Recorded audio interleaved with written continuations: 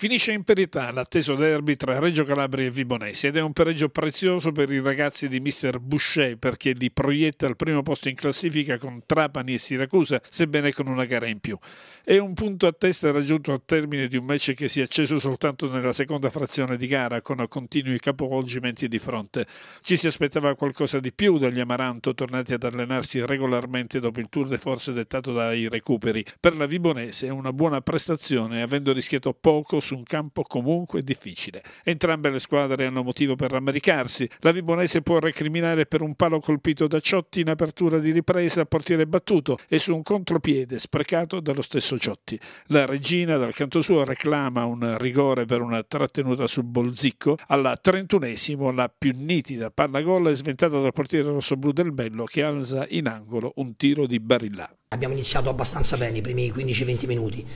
poi la Regina ha preso un po' di coraggio, un po' di, di misure mh, mm, ed è quasi rimasta cioè, una gara eh, un po' strana, poteva, poteva esserci qualsiasi risultato. E quindi alla fine sono partite un po' delicate dove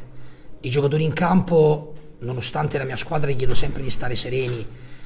e, e tranquilli nel giocare le partite lo so che poi subentra il fattore del risultato, quindi la posta in palio era, era alta, eh, sia per noi e sia per loro, quindi io credo che alla fine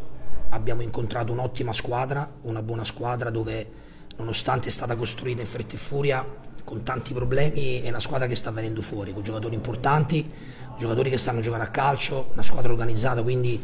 Eh,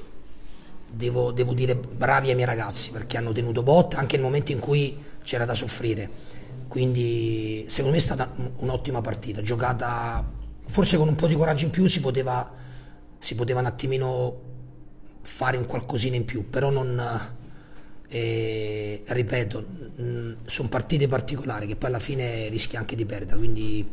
credo che sia stato un buon match. È un punto guadagnato o un punto perso? Dipende, io credo sempre che quando si, si cerca di fare la partita, perché noi abbiamo cercato, cercato sempre di fare la partita e, e, comunque la classifica si muove va sempre bene. Io cerco sempre di essere positivo, con i se e con i ma si va poco lontani, quindi eh, è un punto preso eh, per certi versi anche col sacrificio, perché poi la squadra ha subito un po' a tratti, la regina ha preso un po' di campo, qualche calcio piazzato, eh, soprattutto sugli angoli, quindi eh, ripeto, eh, da parte loro non è che hanno fatto chissà gran, grandi cose, c'è stato quel tiro di Barilla da fuori area che ha fatto un ottimo intervento il nostro portiere, un paio di occasioni no, nostre anche sull'angolo che abbiamo preso il palo, abbiamo sofferto il palo e quella ripartenza che Ciotti ha sbagliato il controllo, se Ciotti